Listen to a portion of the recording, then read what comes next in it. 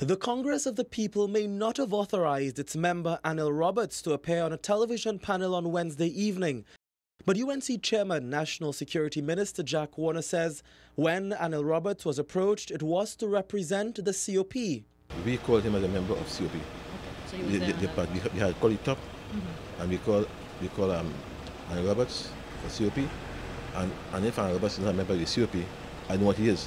And he had, the, he had the UNC. The question of who paid for the television broadcast still remains somewhat unclear. But while the COP says it contributed in no financial way to the initiative, Mr. Warner says it no longer matters who paid for it. Uh, all I could tell you is, it was not paid for by the state. I won't be able to go much on that. And I don't think that, that who paid for it is important. What's important is who did not pay for it. The television program geared towards addressing, quote, pressing national issues has received some negative press. But Mr. Warner said he expected the opposition to take issue with it.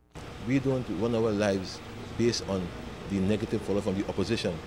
We run our life, lives in the, in the government and the parties that we have on, in the belief that what we're doing is for the betterment of the country and to, and to improve the lives of our people. Those are the things that guide us, not the negative comment.